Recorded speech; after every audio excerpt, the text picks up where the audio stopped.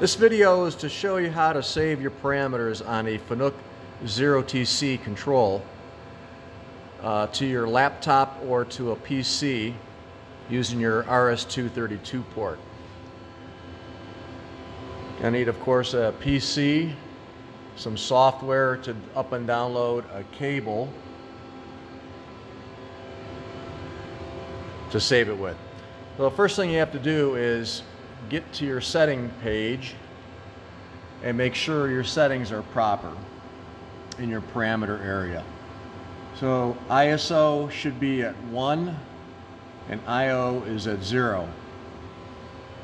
You also have to have your mode key and edit and if there is an edit key or memory protect make sure it's uh, off so you can send your information. Next thing you have to do is make sure you have your software and prepare it to receive the file. So open this up, receive from the CNC. Now it's waiting. So on the Fanuc Zero TC, you must be in the parameter page and to save options, you must hold end of block and press output start.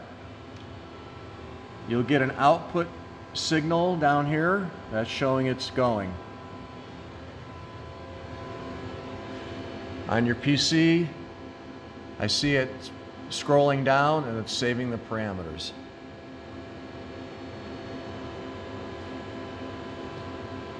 Take a few seconds. If you don't hold the end of block before you press output start, you will not save your 900 option parameters. And this will you'll not find in the Fanuc manual. So that's a little secret that uh, has.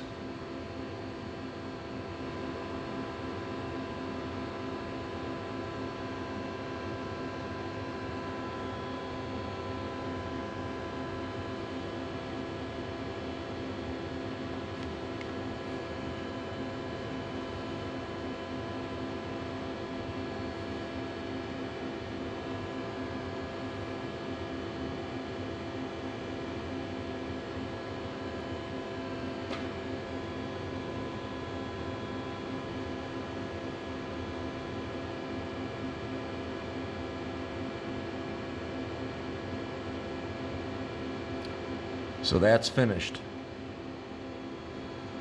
So you can save it to a file or whatever. Call it something, parameter, and save it.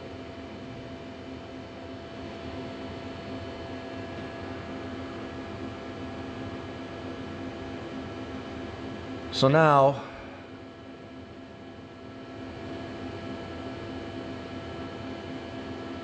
Same thing with diagnostics. Get it ready to receive. And it's waiting. Press the diagnostic key so you're in diagnostics and then press output start. You get the output signal and you'll see your information scrolling down.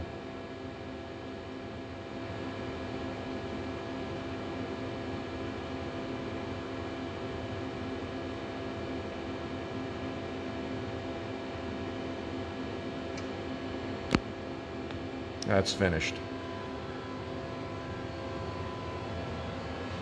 And then your output signal's off.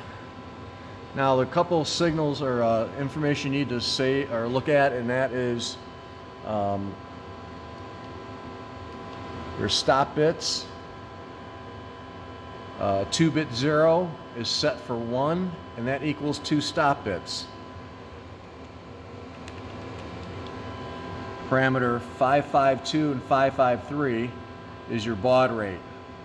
And that's set for 10, which equals 4800. So on your PC, you have to have those settings to match or it won't go through. Okay, that is it.